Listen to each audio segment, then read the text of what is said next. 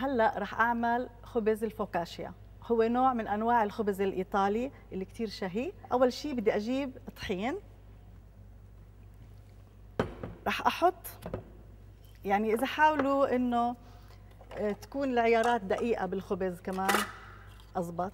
بدي كاسة ونص طحين طحين العادي الأبيض.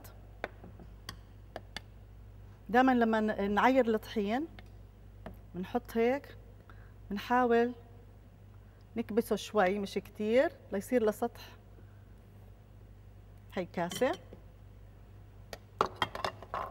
أنخلها بالأول. بدي كاسة ونص أنا. هيك أسرع. طبعا كل ما كان المنخل آه ثقوبه أصغر كل ما تنخل عنا الإشي بطريقة أحسن ودخل فيها هواء أزبط خصوصا للأشياء اللي بدنا إياها تنفش مزبوط مثل الخبز. أوكي؟ وكمان نص. هي نص. كوب ونص طحين قلنا. يلا. هيك كمان نتفه صغيره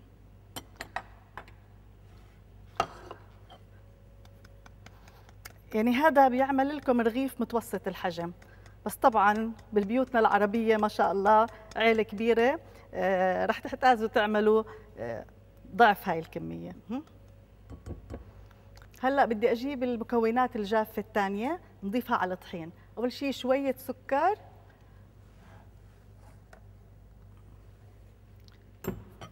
أجيب خميره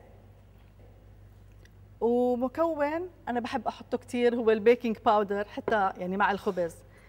صراحة إذا بتلاقوا بالأفران في شيء اسمه محسن. هلأ قبل ما أكمل لكم.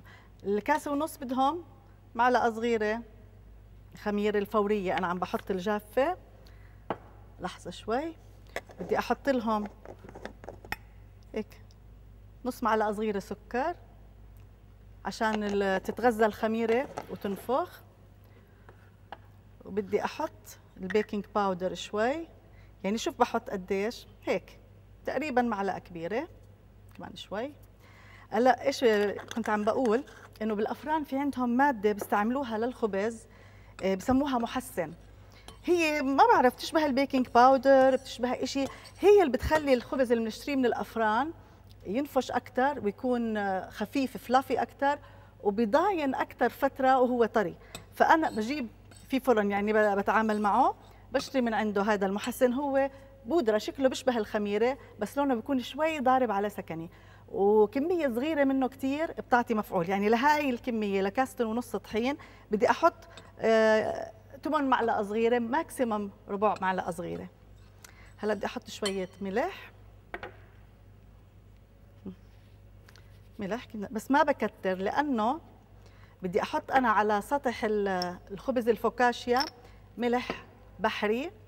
أو ملح صخري بتقدروا تستعملوه اللي هو الملح الخشن. له نكهة كثير زاكية. فبدي أحسب حساب إنه في شيء مالح رح يكون داخل الرغيف بدي لهاي الكمية طحين بيضة واحدة مخفوقة. يعني هذا الاشياء السوائل اللي داخلة بقلب الهاي. وبدي مي. مي بدي تقريبا نص كوب. لأنه في عندي البيض كمان بده فيه آه، يعني سائل بضيف سوائل. وبعدين بدي زيت زيتون كمان كمية تقريبا آه، معلقة كبيرة. أوكي؟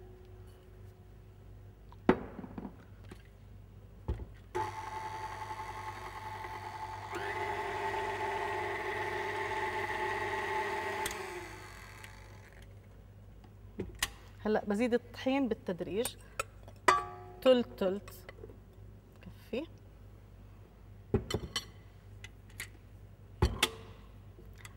على البطيء مشان ما نتغبر. هلا بزيد.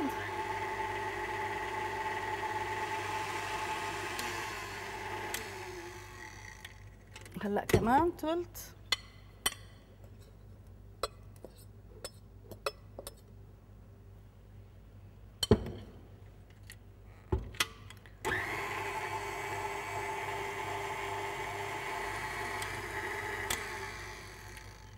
الجزء الأخير وبزيد معه الحصلبان والتومة.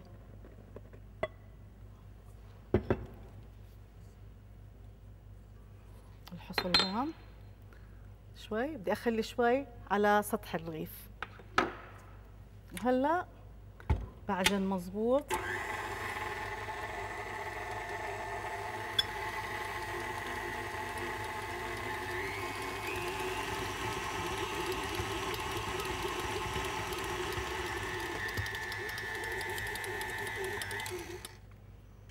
هلأ بكفيها بالعجانة.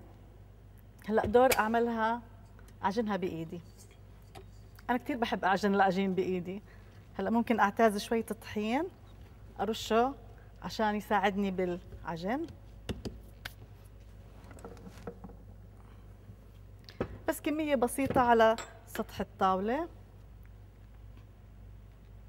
طبعا كمان ما بنكتر لأنه بتصير العجينة جافة. بتبطل طريه زي ما بدنا إياها. هلأ طريقة العجن دائما من كل الشقات. يعني هيك وهيك وبالشقلوب. أنا بقدر أعمل هيك مرتين هيك بحب. بدعكها بإيدي وبرجعها. كمان مرة هيك. انتهت. بكورها هيك. بدي أحطها تتخمر. طبعا مشان ما تلزق بدي أحط شوية زيت زيتون.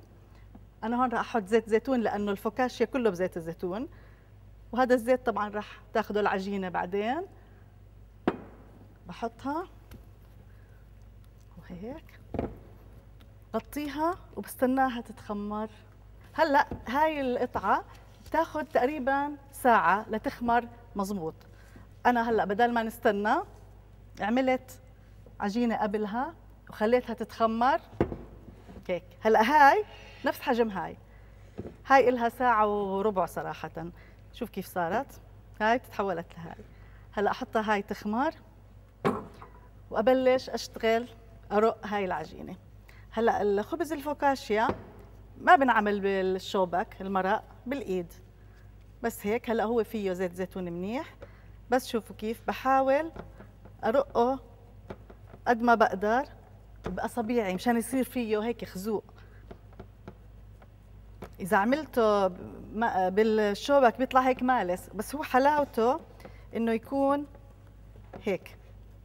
هلأ هدول الأخاديد اللي أنا عملتهم شو بدي أحط فيهم؟ زيتون أسود هيك صغار شوي بالإيد هيك قصوهم عشوائي. بتحطوا قد ما أنتم رغبة اللي بدهم يأكلوا هذا الرغيف قديش بحبوا زيتون. شوي كثير أنا هيك بكفي بكبسهم عشان يثبتوا محلهم. برش شوية حصلبان هذا حصلبان طازج بس أنا فارمته. شوي هو أصلا جوا جوية العجينة طبعا في حصلبان بس هذا هيك زيادة. شوي كمان هيك. هلأ حط شوية زيت زيتون كمان على الوجه. بيرطب الرغيف وبخليه يتحمر من فوق شوي. بعدين إشي كتير زاكي. اللي قلنا عنه هو الملح البحري الخشن له طعمه مميزة. فإحنا ما كترنا ملح جوا العجينة لأنه بدنا نحط منه. هيك على الوجه. ما بيدوب هو. بضله زي ما هو. ولما يطلع هيك وأنتم عم تاكلوه هيك بيطلع شيء بيقرش هيك وطعمه زاكي كثير كمان ما نكتر لأنه مالح. هون في نقطة ما اجا هيك هيك. خلص. بدي أحط حصلبان طازج عندي أنا هون. كثير حلو الواحد يخلي عنده أعشاب هاي الطازجة. بياخذ منها هيك شوي شوي مثل الريحان والحصلبان كثير حلو. بحاول هيك أغزها نتفة عشان تثبت محلها. مش معقول شو هذا الخبز زاكي. خصوصا إذا طالع لسه من الفرن ساخن ويتاكل معه زي بقية أنواع الخبز الإيطالي يتاكل معه زيت زيتون زاكي وخلي البلسمك. كثير يعني إذا هيك بتغمسوا اللقمة بالتنين وبتاكلوها طعمة ولا أروع. هلأ أحطه هذا بالفرن. وأنا قبل شوي خبزت واحد بالضبط نفسه نفس الحجم. آه طبعا بالفرن اللي بينعمل فيه هذا الخبز لازم يكون بحرارة عالي أقل شوي من احمى عندكم. يعني بين متوسط لحامي وما بياخذ يعني 10 دقائق إذا كترته أكثر الوقت بنشف يعني لأنه هو رقيق ومش كثير رقيق يعني بس مشان لازم يضله طري من جوا. إذا طولنا بصير محمش زي البسكوت شوي لأنه فيه زيت زيتون. فهيك وآخر شيء لما نقدمه كمان بنرجع نعمل شوية زيت زيتون هيك على الوجه بيعطي لمعة وطعمة. وهذا هو رغيفنا لليوم.